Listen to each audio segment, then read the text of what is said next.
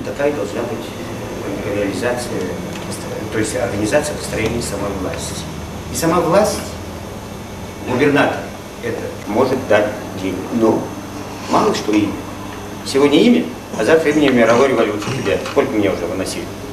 Поэтому гарантированный фонд должен быть создан, который обязательно, чтобы не случилось, возмещали все, что вложено в. Без этого никуда не обойтись. Но они были, были ориентированы на одну мелодию. Опыт как раз необходим там, где бумажки подсылать, принимать, там что-то. Вот последние десятилетия ни в крае, ни в городе. Я немножко в Владивостоке начал там, ну, процентов 30 нужен блок развития. Блок, который четко бы определял. Этот же блок разрабатывает систему взаимоотношений позиций, власть как катализатор, каждый человек как щепот, по-прежнему тесно. Вот этот блок нам придется создавать не очень легко. Хуже я не буду от этого, а лучше будет. И если бы я не имел такого прессинга, то при проверках, которые были, я бы остальное для меня самый лучший ревизор – это то состояние, в котором я находился. Поэтому меня ни ревизии, ни исследования, ничего там не зависит. А просто нечего сказать. Так вот, не такой вот мочильный аппарат, а конструктивный, он и может быть корректирующую какую-то функцию иметь над всем этим. Как это власти? И хозяину уже, хапанувшему это имущество, ну а уж краю государства тем более, вот там большой резерв. Я не буду рассказывать, как это делается, а приведу просто напросто, по примеру, там, допустим, фабрики мороженого. Они там бы были. Или торговый комплекс. Другое состояние. И таких было 114 организаций. Мелких нет. Ну, вторые рублей. А значительно больше. Вот основной оборот. Почти каждый второй не работает. А если работает, то просто подрабатывает. Магазины не идут, производитель не может реализовать. Работа, если не очень много пока, потому что много безработных, но не если появится еще больше. У нас никто не думал еще связи экономических по регионам России. У бандитов есть. Они знают имя. Это огромные возможности. Ведь не зря Москва рвет и мечет из-за того, чтобы этот регион захватить. Огромный И часть уже на сегодняшний день ждут результатов власти для того, чтобы можно чем наши вот там теневики, что придет кто-то, езжать и на Приморском крае ставить крест. Вот это составляющая вида Ну, параллельно с этим, самый главный – рыба-лес, который вообще ничего не вкладывает, только навести порядок. И уже сразу же. Параллельно с этим алкоголь. Если у нас закрывается Уссурийский завод из-за того, что он не может с этой братвой в подвале, которую разливает, соперничать, и 70% водки заводит, а свою не реализует, и весь, причем теневой водки, ладно бы наши предприниматели где-то там закупили и здесь оставили деньги. Поэтому здесь огромная возможность. Даже на таких элементарных вещах, допустим, вот сейчас обещают госпошлину таможенные значит, сборы за ввоз машин повысить. Нам это не выгодно. И не просто моряк один на один, зная, ничего он не делает, будет бороться с этим. Мы, власть и приморское общество должны бороться. Почему нам это не выгодно? Это бизнес не только моряка. И мы его должны даже инвестировать, когда он едет туда. Берет деньги, привозит оттуда машины, продает их в три дорого в какой-то регион и оттуда забирает в три раза больше денег и сюда ведет. Мы даже должны подумать, чтобы это было на такой организации, что он не просто их, эти деньги получил, а создать ему условия, чтобы он вложил эти деньги уже в какую-то автомобильную мастерскую, какую-то другую, что ему нравится и так далее. И этому ему должны помогать. А сама власть должна работать по направлению. Что касается села, э, здесь сложная ситуация, но поправимая. Поправимая. Какова должна быть политика? Ну, ежу понятно. Нет запчастей, техника вся изношена, нет ресурса, есть только название, и еще какая-то там с ребрами корова ходит. Директор. Больше коров. Да, больше коров. Ну и 60% бурьяна на этом поле. Остальное огромные возможности. Сразу же за один год не поднимет. Первое – это заказ, пусть не государства, но краевого масштаба под все то бюджетное, что мы закупаем сегодня с рынка, с китайского или какого-то другого. Эти деньги должны сразу же ориентированы, организованы бюджетом, в том числе и фондом страховой медицины для больниц, поликлиник, там где закуп продукции, под конкретные хозяйства, под конкретную продукцию и поставки целевые. Они уже должны знать, что они выращивают такой вид продукции, который каждый день поставляется вот такому-то, такому-то, такому-то потребителю. Вторая форма – через торговлю. Вот он, он торгует пищевой продукцией, нет оборотных средств, а если берет в банк, то дорогие, он получает или под гарантией дешевые кредиты, или может дать бюджетные деньги, но эти деньги он тратит только на закупку сельскохозяйственной продукции вот там-то, там-то, там-то, там-то, там-то. И в договоре, в контракте это конкретно указывается. И если он это не выполнит, то тогда заплати бешеный процент. Еще какие-то неустойки в этом плане. То есть мы будем приучать и самого торговца, чтобы он не оттуда завозил оттуда, а вот тут тебе гарантировано, тебе рельсы, тебе властная крыша и все остальное. И таким образом потом уже будет привычка налаживаться связи с этим, и на автомате будет это все решаться. Ну, где какой приоритет, где в Кировке мед, где там что-то и так далее. Кроме всего, свою перерабатывающую значит, промышленность мы тоже должны ориентировать. Мы можем выращивать свеклу. Она здесь выращивалась еще нашими правилами. Есть у нас сахарный завод. Если настала пора модернизации, чего вам завозить откуда-то сырец, а здесь свои возможности теряют. Я это говорю просто экспромтом, не исследовал этого вопроса, но это просто по принципу и ежу понятно. Если есть у себя производство, чего продукт, сырье для этого производства, откуда завозить вот этот комплекс, рабочие места и так далее. Я уж не говорю о мелочах там какой-то. Бытовой. Их задача номер один. Любой инвалид, он должен иметь рабочее место. Нет этого рабочего места. Значит, во власти должен быть человек, который придумывает это рабочее место. И принцип этого подъема чисто пример тайваньского варианта. Когда из ничего на голом месте отступающие китайцы, гонимые с родины, не только выжили, но и самые богатые государства построили, где главный экспорт – это даже не продукция, а деньги, которые у них есть. И если тайваньскую территорию Приморского сражения, то тут, естественно, возможности значительно больше. Но возвращаясь обратно, никогда воровская власть не сможет создать то, о чем мы говорим. Вот почему мы совершенно другие люди. А тот, кто наворовал, тюрьму сажать не будет.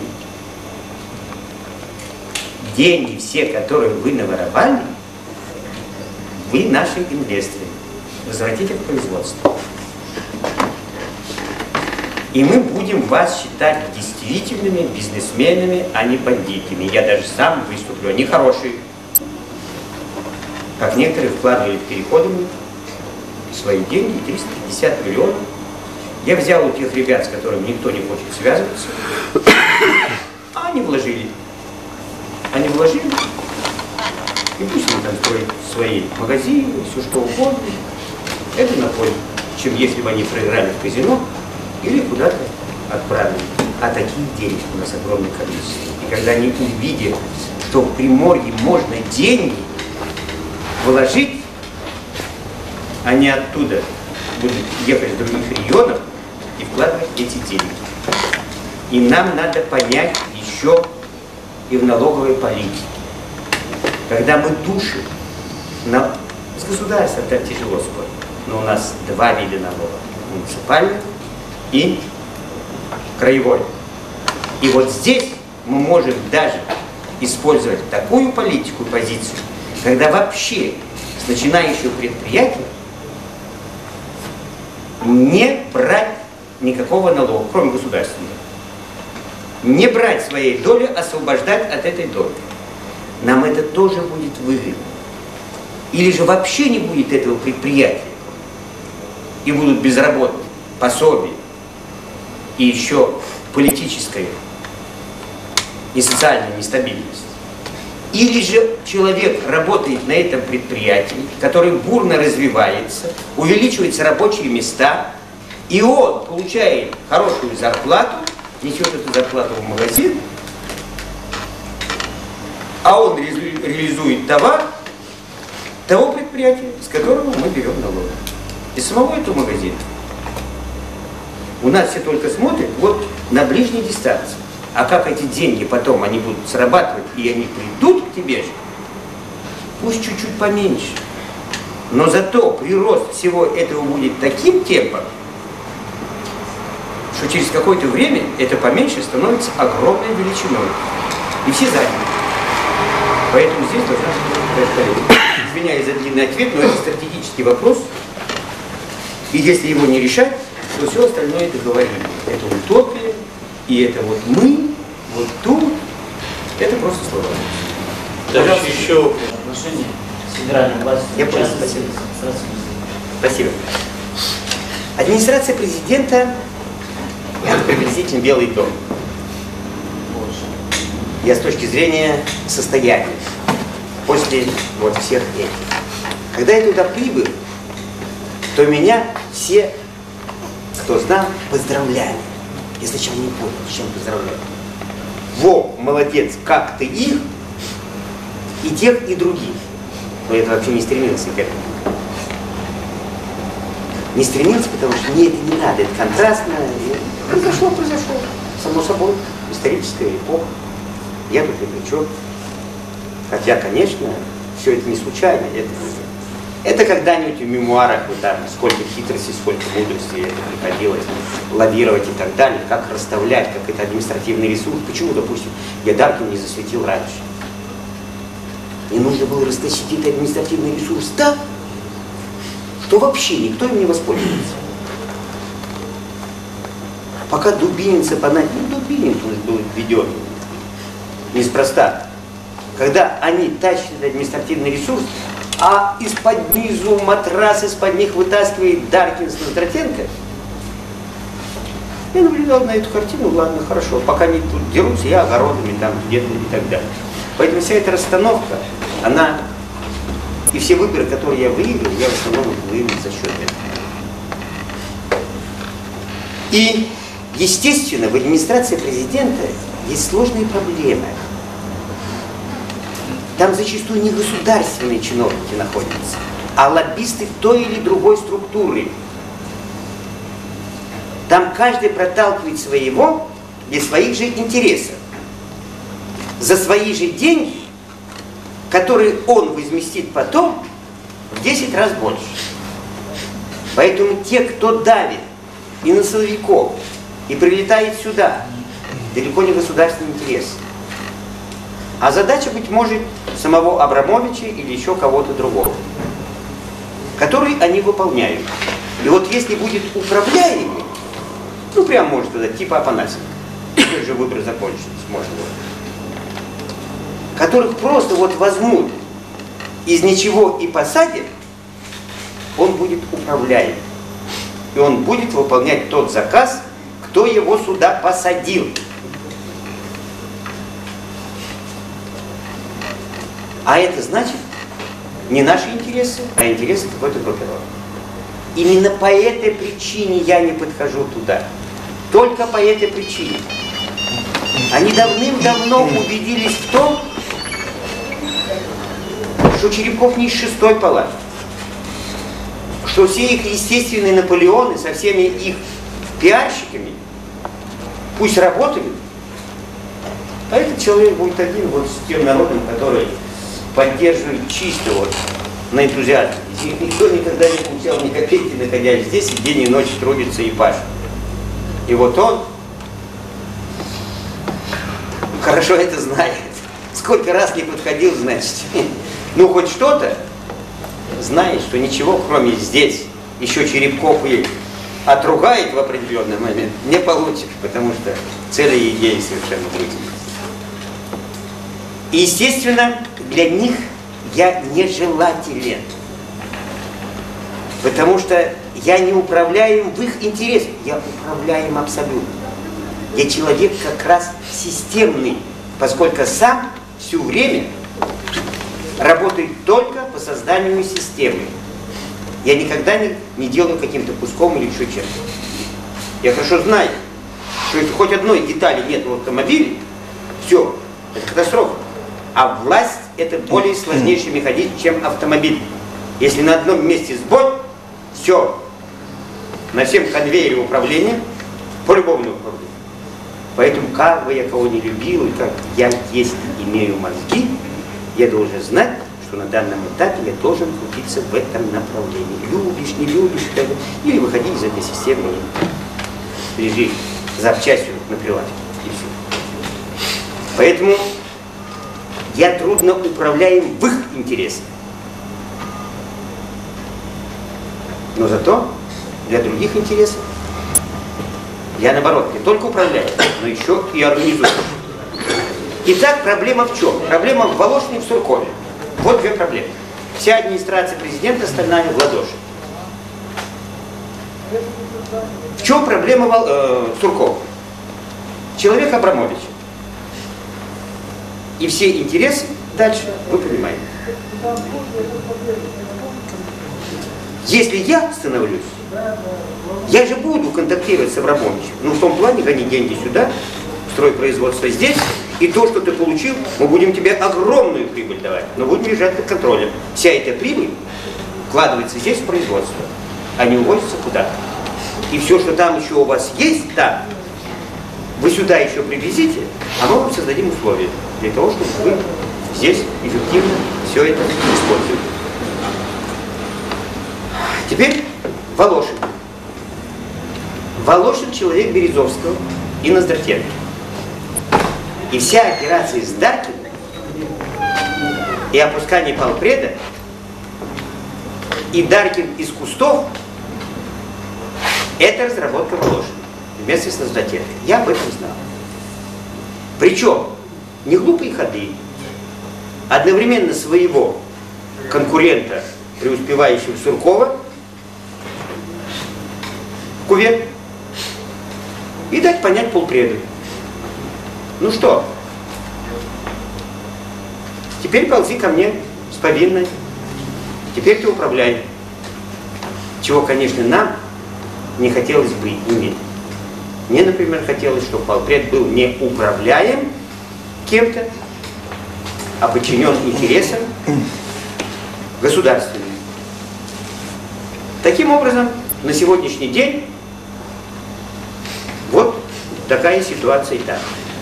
Но ситуация в администрации президента будет меняться, поскольку будет меняться стратегический чиновник. И это не секрет. Сам Путин. Путин, конечно, не до этого, но он не может Приморье обойти. 12 числа он впервые будет заслуживать, заслуживать свой аппарат по Приморью и будет принимать решения. Естественно, информация будет там всякая разная, но задача наша донести до него информацию ту, которая бы могла быть ключевой. Через стол Волошинско-Сурковский ни одна бумага туда не пройдет. Значит, мы должны это донести через СМИ, через другие каналы спецслужб, тем или иным путем. С кем администрация президента? С бандитами? Тогда извините, надежд никаких нет. И вы, товарищ президент, разберитесь, кто в вашем окружении. Если им все равно, с кем брататься, ну тогда не играйте в выборы, тогда мы будем знать, что нам ждать. Мы ваши помощники, или мы должны отойти в сторону. Успехов и победы во втором туре. Огромное спасибо. Спасибо. А дальше что? Встретились. Я человек дела.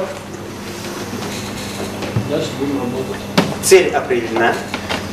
Мы должны теперь определиться, где у каждого лопата. И где тот окоп или то здание, которое мы должны строить. И мы должны, если мы действительно встретились для того, чтобы определить наши цели конечные и вместе идти, мы должны сейчас на ходу всю систему так построить, чтобы, не ломая ряды редуток, каким-то образом каждый вписался, и победное знамя повел на своей баррикаде. может, для информации, просто если будет у вас какое-то решение письменное, да, вы, пожалуйста, не передайте, да, передайте пресс- пресс-релиз. И дальше.